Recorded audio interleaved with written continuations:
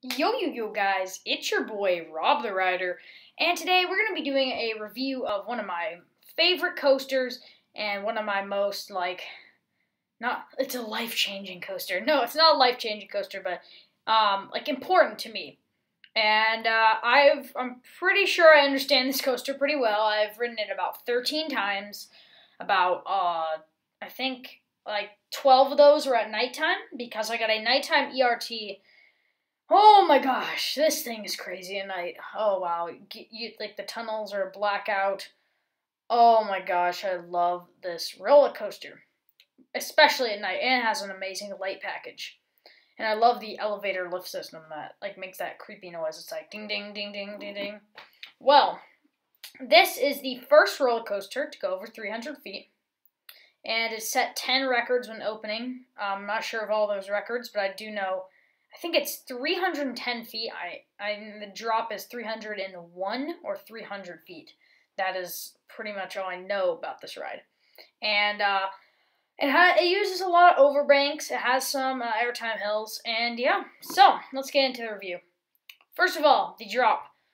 I love the drop on this thing. It's an 80 degree drop. Very very great. Um, provides pretty good ejector airtime. Um, I love the drop. Very nice.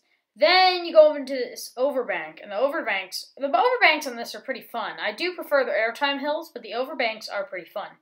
Um, yeah, so uh, going up the lift hill, it's pretty high. You get a great view of uh, Lake Erie. Well, I rode it at night, so I couldn't really see too well. And uh, Top Thrill Dragster is right to your left. Yep, ah, on the right side. And you can see Top Thrill Dragster. You can see Steel Vengeance. You can see Maverick. I'm pretty sure. And yeah, the view's amazing. Um, the airtime on this ride. Okay, it has three moments of airtime. The two floater hills, which are amazing airtime, amazing airtime.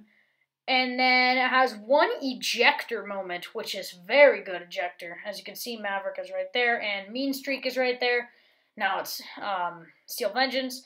But uh, yeah, I, I love, I love, I love this ride. And uh, yeah, and um, so um, I I like the speed. I like the tunnels, pretty good. So yeah, um, airtime's pretty nice. Um, I do say, I do say, I do like this better than Fury three two five. Uh, yes, that's just my opinion. Um, some other people share that opinion, not too many. But uh, when you're getting when you're climbing this lift hill, you can really like compare your size to Dragster, and it looks like you're at the top of the Dragster, even though Dragster is much higher. It's pretty cool. Um, oh, this is a good airtime hill right here. Boom. Very good. I, I, my, my favorite one is the one that is the tallest one. That is probably most people's favorites. But yeah, the tunnels are really great, and uh, oh, the station music. Oh my gosh. By far the best station music on any roller coaster. Maybe Top Thrill Dragster beats it, but I don't know, guys. Um, I'm going to play a little clip of that music right now.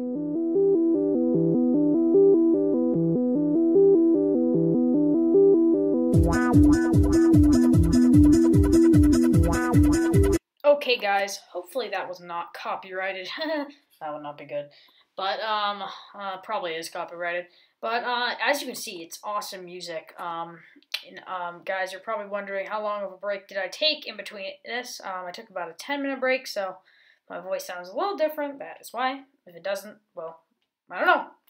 Um, but I will be doing the POV review after this POV. But yeah, just um, this roller coaster. I love the color scheme on it, um, the blue and white. It looks awesome. Gives you the sensation of the speed, and it also is going pretty fast. It is hauling. Um, if you go to Cedar Point, definitely should check this out. Um, I wouldn't say it's their best coaster but it's a very good one. Um, is Top Thrill Dragster better than this? Um, probably. I prefer my Stratas over my Gigas, except if it's uh the one at Magic Mountain, uh, Superman. I mean that one's good, but um, I like Millennium Force better. This is my number one Giga so far.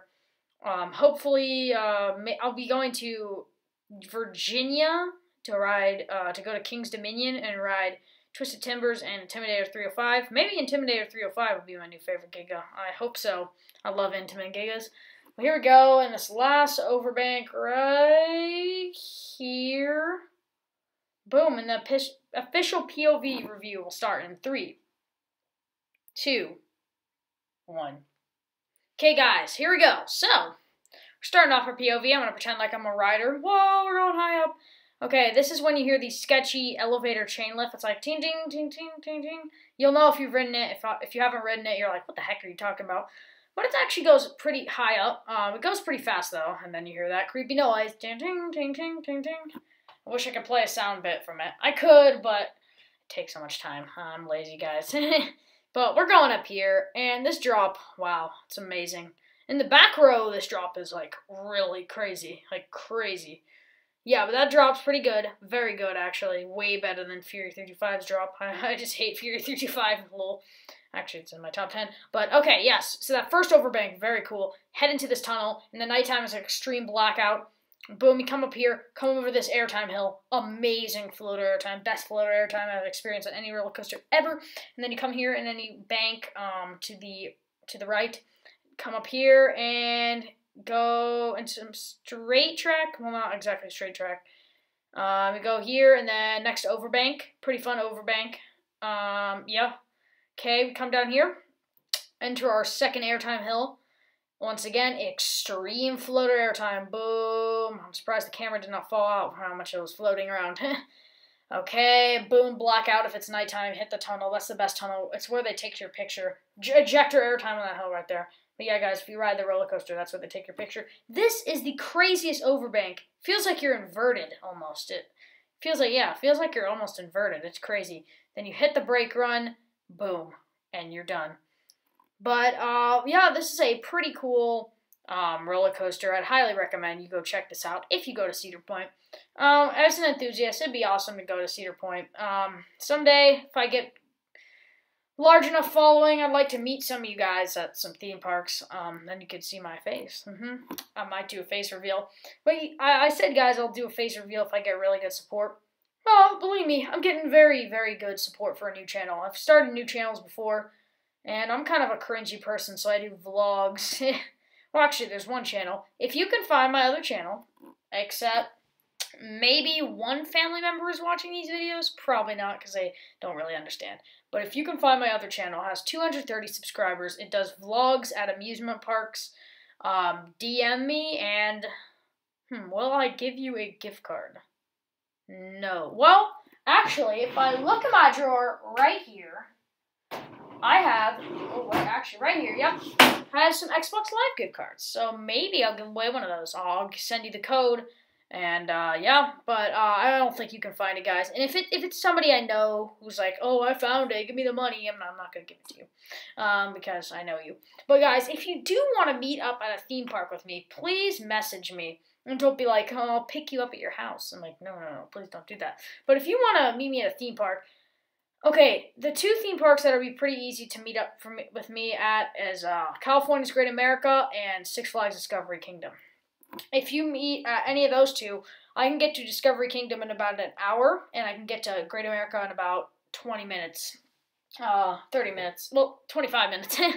but if you guys really want to meet me, that'd be amazing. I, I make me feel awesome. But if you if you can't meet me, don't go sneaking off and like, oh, I need to meet my biggest YouTuber. um, I'm not. I'm not really a big YouTuber. Um, Rob the Rider. I would be happy to meet you guys. Happy to ride some rides and do whatever, even if you're visiting or coming. Um, but yeah, guys, if you do want to meet me at a different theme park, like that's not there, maybe your home park, um, please message me and say what theme park and what day you can meet me. Next year I'll be in Dollywood, um, Ferrari World, and Dubai. Yeah, you heard me. Ferrari World and Dubai. um, if any of you there's somebody who's in Dubai and watches my videos. That's amazing. But um, yeah, guys, we're really growing. Almost at 10 subs. I mean, that doesn't sound like a lot, but we're at 8 subs. That's awesome. But I've been rambling on. Thank you guys for watching, and I'll see you in the next video. Keep on riding.